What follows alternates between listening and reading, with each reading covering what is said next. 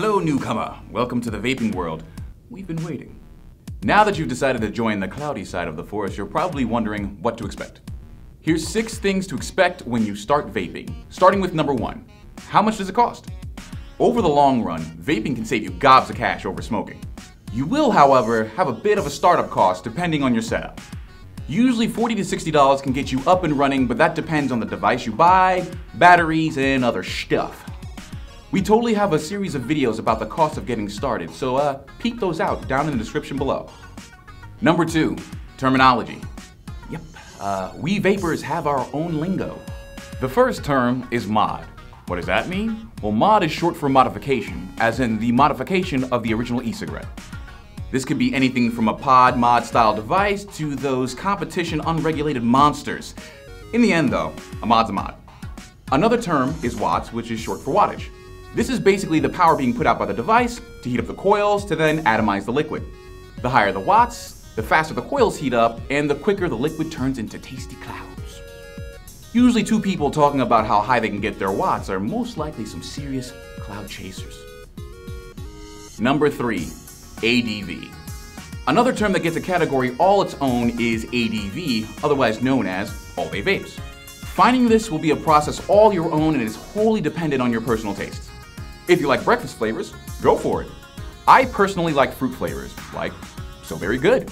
Now, if you're unsure as to which flavor you would like, you can uh, click up here and try one of our sample packs. The great thing about finding your all-day vape is knowing that you'll have a flavor that you like and that you can depend on as you go forward in your vaping journey. Number four, stay hydrated. Why? Well, number one, vaping a lot will make you thirsty. So yeah, drink some water. And number two, vaping the same flavor a lot will give you what's called vape tongue. It's not a terrible condition, don't worry.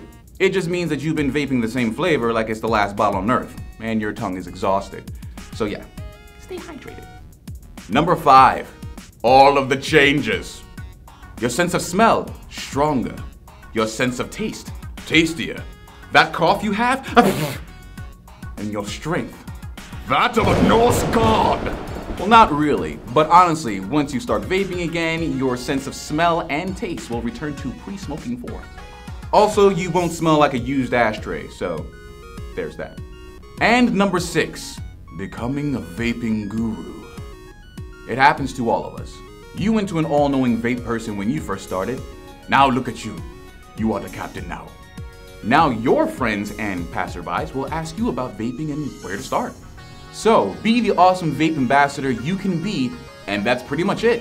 I hope this better informs you as to what to expect, and as always, happy vaping. Hey guys, it's Emily at Vape Wild. Be sure to click our button and subscribe to our channel, or you could watch more videos over here. Right there. Click one. You know you want to. Click it, click it, click it. Click it right now. Right now. Click it. Right now. I don't know what else to do.